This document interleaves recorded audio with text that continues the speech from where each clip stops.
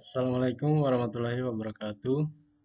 Di tutorial kali ini kita akan bahas cara mengatur tebal selimut beton di program Revit 2021. Langsung saja kita mulai. Kita pilih new project ya, new model. Di sini saya gunakan yang struktural template. Pilih oke. Okay.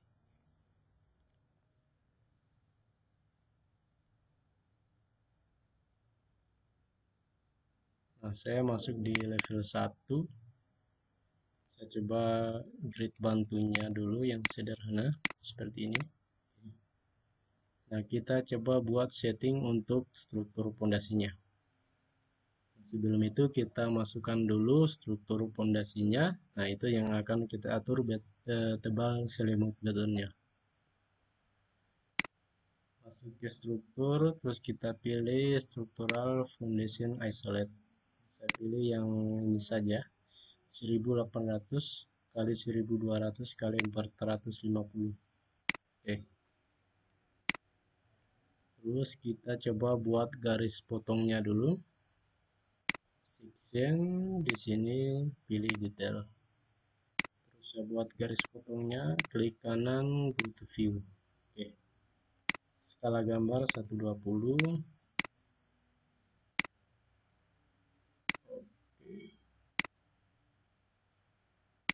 ya seperti ini kurang lebih. Nah untuk uh, mengecek atau mengetahui tebal selimut yang ada di struktur pondasi ini kita bisa lihat di instant propertiesnya. Kita klik. Nah di sini di instant properties di bagian struktural di sini ada rebar cover top face. Ini untuk bagian atas. Nah tipenya ini interior framing kolom 40 mili. Jadi yang interior framing kolom ini hanya penamaan saja.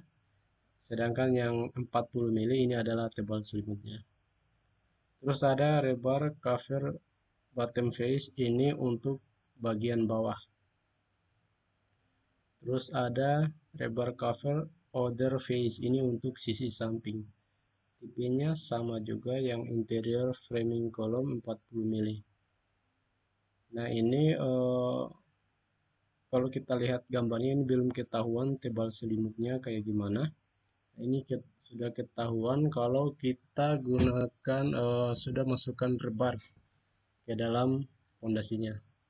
Jadi kita coba tes masukkan dulu rebar. Pilih rebar, pilih OK. Saya ambil yang tipe yang ini saja oke. Uh, detail level medium. Oke. Sekarang coba kita ukur. Seharusnya 40 mili ya.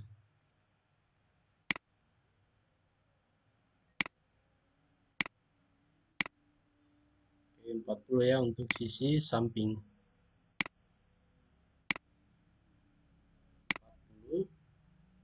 terus sisi bawah juga sama 40 sisi atas juga 40 oke. Sekarang bagaimana kalau kita mau membuat tipe yang baru? Nah caranya kita masuk ke tab struktur. Terus di sini kita pilih cover. Yang ini edit rebar cover yang ini diklik. Nah terus di sini ada cover settings. Kita pilih edit cover settings. Yang ini diklik. Dan di sini uh, telah muncul jenis-jenis tebal selimut yang secara default sudah disediakan oleh Revit.